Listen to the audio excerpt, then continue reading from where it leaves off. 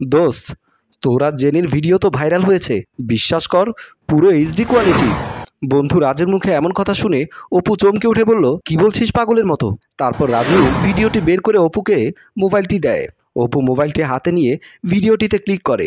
আর দেখে, সত্যিই তো, ভিডিওটিতে অপুকে স্পষ্ট দেখা যাচ্ছে, কিন্তু জেনির চেহারাটা পুরোটা ব্লার।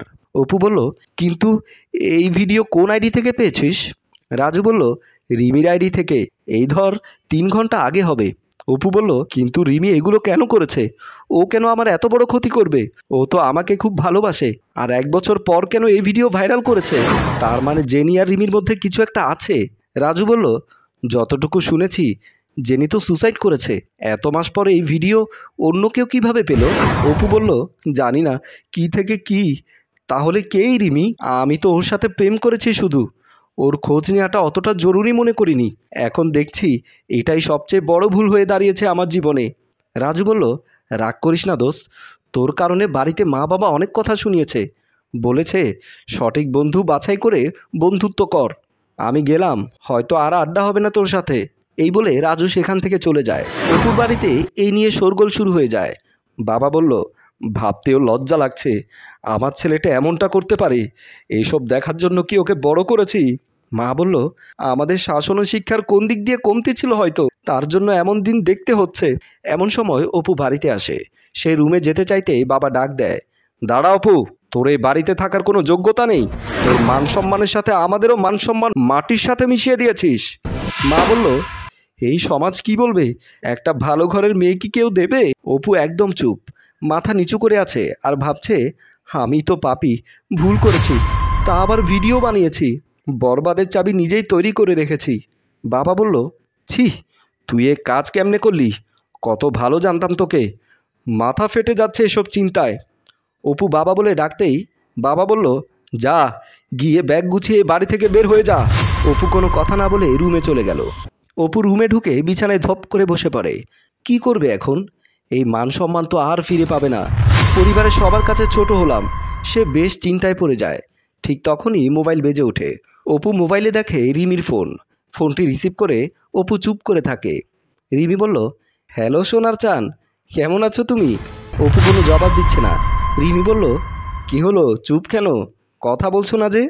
অপু দীর্ঘশ্বাস ছেড়ে বলল, আমাকে বরবাদ করে কি মিলল তোমার? আর এমন কেনই বা করলে রিমি? রিমি বলল হুম, চলো মিট করি। তোমাকে তোমার ভ্রান্তি দূর করে দেই। অপু বলল, কোথায় মিট করতে হবে বলো? তবে সন্ধ্যার পরে পারব। রিমি বলল, ও, ভুলে গিয়েছিলাম। তুমি তো বাহিরে মুখ দেখানোর পর্যায়ে নাই। ঠিক আছে, ঠিকানা অনুযায়ী চলে এসো তাহলে। বাই, দেখা হলে কথা হবে তাহলে। অপুও বলল, বাই, ঠিক আছে। ফোনটি রাখতে অপুর ভিন্ন রূপ ভেসে ওঠে। সে ভাবছে, তোমাকে এমনি এমনি ছেড়ে দেবো ভেবেছ, রিমি? তুমি আজ আমার শিকার হবে। এই বলে গোংরা মুখ থেকে পৈশাচিক হাসি বের করে অপু। অপু আগে থেকে অপেক্ষা করে আছে রুমে। রিমির সাথে কথা বলবে বলে। রিমি দরজায় টোকা দিতেই অপু দরজা খুলে দিয়ে বলল, এসে গেছো তাহলে মৃত্যুর দুয়ারে শোনা এই বলেই রিমি চুলগুলো ধরে দরজা বন্ধ করে রুমের মধ্যে নিয়ে আসে। অপু বলল, শুধু তুই কি ভিডিও ভাইরাল করতে পারিস? আমিও পারি। কালকেই ভাইরাল হবে তোর ভিডিও। যেখানে তোর সব কিছু দেখা যাবে। আমার চেহারাটা দেখা যাবে না। বলে রিমিকে ধরতে চাইতে রিমি অপুর দুপায়ের মাঝখানে আত্মরক্ষার কৌশলে অন্ডকোষে একটা দারুণ কিক মেরে দেয়। যতটা লাফাচ্ছিল, তা সব বেরিয়ে গেছে ওর। ও হঠাৎ করে বিছানায় পড়ে যায়। রিমি তাড়াতাড়ি রশি বের করে অপুর হাত পা বেঁধে দেয়। একটি চেয়ারে বসা অপু, আর খাটে সামনাসামনি বসে রিমি।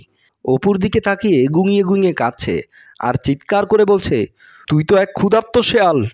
যার নজরে যাকে ভালো লাগতো তাকেই নিজের ভোগ করার ইচ্ছে জাগে। বলেছিলি না আমি কে?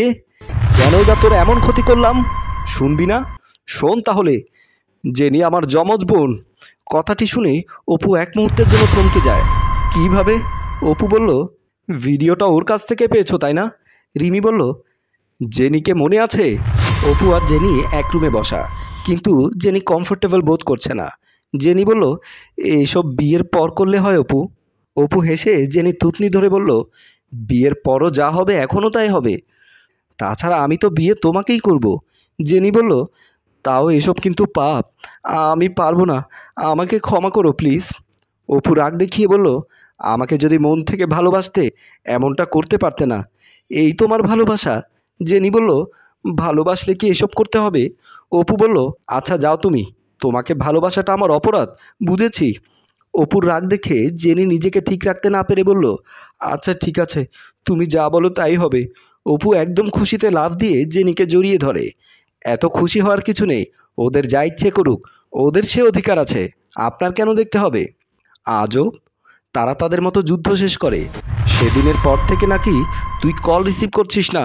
ভিডিও ভাইরাল করবি বলে হুমকি দিয়ে অনেক টাকা নিয়েছিস। সে তোর জ্বালায় অতিষ্ঠ হয়ে তোর সাথে দেখা করলে তুই ওকে মেরে ফেলার হুমকি দিস? ভিডিওটি ওর মোবাইলে দিয়ে আরও শারীরিক নির্যাতন করেছিস আমার বোনটির সাথে। সে তোর এসব সহ্য করতে না পেরে আত্মহত্যা করে। ও সুসাইড করে সেদিন। বাধ্য করেছিস তুই। সবার চোখে সেটা সুসাইড হলেও আমার চোখে সেটা খুন, যেটা ওর মোবাইলের গোপন ভিডিও আর ডায়েরিতে লেখা নোট দেখে বুঝতে পারি। এই বলে কান্না করতে থাকে রিমি। অপু অবাক হয়ে সব শোনে আর বলে, আমি আমার ভুল বুঝতে পেরেছি। এরকম ভুল আর করব না। আমাকে ক্ষমা করো, রিমি। রিমি হাসে। আরেকটা ছুরি নিয়ে অপুর হাতে রক কাটতে কাটতে বলল, তোকে ক্ষমা করলে যে বোনের আত্মা শান্তি পাবে না। অপু নিজের মৃত্যু দেখছে আর নিজের চোখের সামনে ভাসছে তার করা অপরাধগুলো। ছটফট করছে আর নিজের মৃত্যু নিজেই কামনা করছে। যত তাড়াতাড়ি মৃত্যু হবে, ততটাই কম যন্ত্রণা পাবে সে আশায়। আমাকে একেবারে মেরে ফেলো, রিমি। আমি আর সহ্য করতে পারছি না। রিমি বলল, এত সহজে তোর মৃত্যু হবে? তা আমি হতে দিতে পারি না। আগে ছটফট কর, তারপরে ফ্যানের সাথে ঝুলিয়ে দেব তোর লাশ। আর সবাই মনে করবে, তুই আত্মহত্যা করেছিস।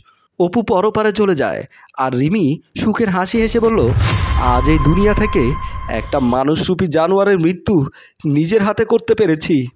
সম্মানিত ভিউয়ার্স কেমন লেগেছে কমেন্টে জানাতে ভুলবেন না। যেমন কর্ম, তেমন ফল।